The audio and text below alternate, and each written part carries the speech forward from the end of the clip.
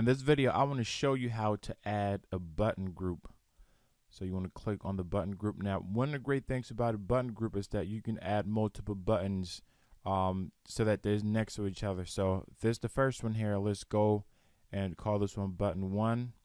And when you scroll down, you notice that you have different styles you can click on here. So you can feel free to go ahead and play with that and choose the one that you want, but I'll just leave the default and you can choose the button spacing. This is the, the letter spacing between uh, the button and the text.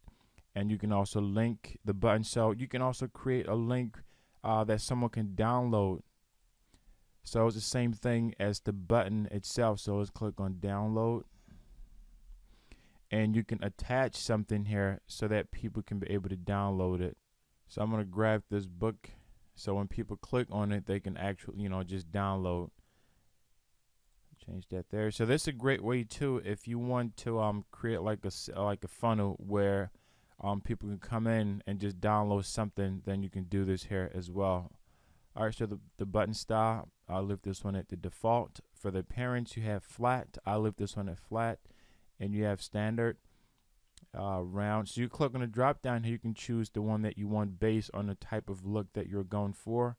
And you can also add an icon with the button. So I'm just going to add in a download uh, icon here. So let's choose this download. And you can choose the position for the icon left or right. I'll leave that at the left. So I'm going to click another one. I'm just going to clone this. And you can put in sign up and you can choose the lettering the button style for this one. You just choose the bolder weight. And I don't want this to have a download with us. I'm going to delete that. You can choose the spacing. So I'm going to choose 4 pixels. And scroll down. You can choose standard. Let's make this one large. And let's make this one outline. Uh, and then you can go ahead and choose the width you want it to be full width we'll leave it at no. And then the button shape. Let's make this one round and we want to change uh, this one where it says for the icon it's going to choose user just choose something there. And how do you want the link to open? Do you want to open this same window or a new window? So let's scroll up here and we're going to just I'm just going to duplicate this. I'll just clone it again. So we'll have three button. And then call this one click here and then we'll scroll down. It's pretty much the same thing. You it gives you a lot of flexibility for you to choose how you want the buttons to look. So scroll down, uh, make this one success. No, you can change the settings if you want to, but I'm gonna leave it for the sake. I'm gonna come back here and I'm gonna change. Let's see here. Change this one, the button style to warning, and the first one third one here we can change this. So what I'm just doing now is I'm just going through and just uh, different sets and this here where it says the gutter this the space in between the buttons so if you have multiple buttons there's the space that you put if you want it to be left center or right. So let's take a look at the front end and see what this looks like. So save. So from the preview now you have three buttons that you can use and based on the type of site that you're creating you know, this first button might work for you, or the second one, or the third one. So, uh, pretty much what type of button that you want. And also, if you want to put a button so it's in the middle and the center of the page, even if you have just one, you want to use the button group uh, instead of the button. Let me show you the difference. Uh, let's add a button.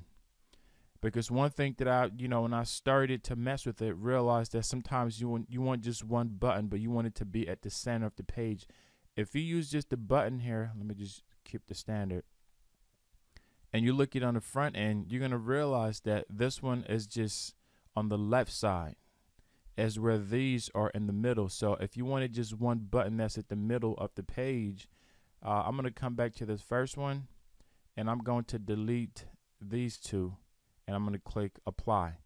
So when I apply and I refresh it now, you notice that this one button is still in the middle of the page. So if you're looking for to have just one button that's at the center of the page, then this is the one that you go with, and it's very simple, very clean.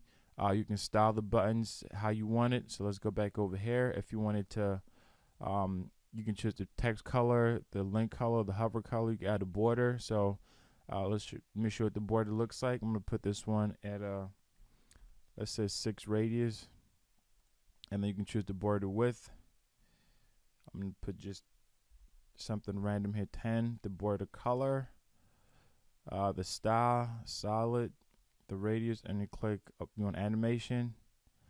All right let's click apply. So you can see what this looks like with that. So that's the border that you have on there. And there like I said there's so much you can do with this. You can you know disable the border or you can keep it.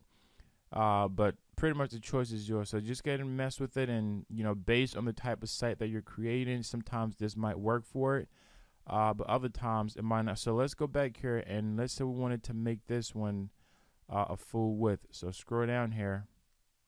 Let's say we, where it says full width, we want that to be yes, and let's save it. So now you have the border that's surrounding this button, but it's nicely in the middle right there. So sometimes there's a certain look that you're going for. And if you don't want this particular color, let's say you wanted to change that one uh, from from the primary uh, and you wanted to have something different. Let's say, let's go with uh, let's go with uh, uh, danger, and I want this one to be an outline, so you can see the difference of how it looks. So now, when you put your mouse over it, it has a different color. So gives you a lot of options, a lot of flexibility, um, pretty much how you want it to be or look on your site.